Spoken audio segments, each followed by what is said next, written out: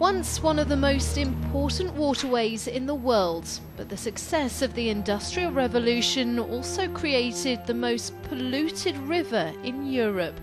A toxic cocktail of sewage and industrial chemicals meant 25 years ago the Mersey was virtually lifeless. Here was this great river from which the life of Liverpool had originally come, and it was an open sewer.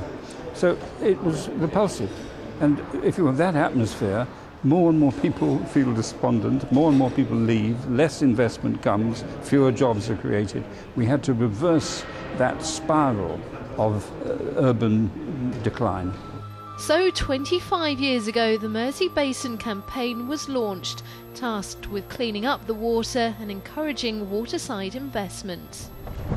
Today, the River Mersey has been completely transformed. Not only has wildlife returned to the water, but it's also encouraged regeneration of the area and a new interest in leisure activities like fishing and sailing.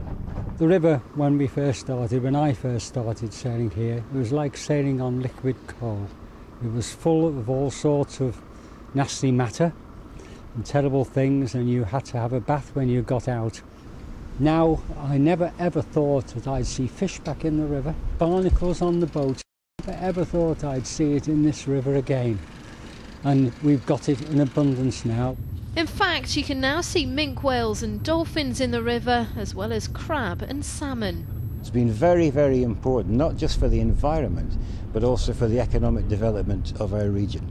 There would have been no Albert Dock, there would have been no waterfront, no convention centre, and further up as well.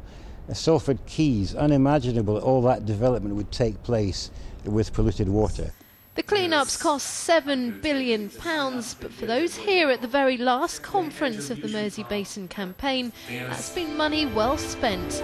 This isn't the end. There are promises and assurances that work will continue to make sure this great river remains just that. Mel Barham, Granada Reports, Liverpool.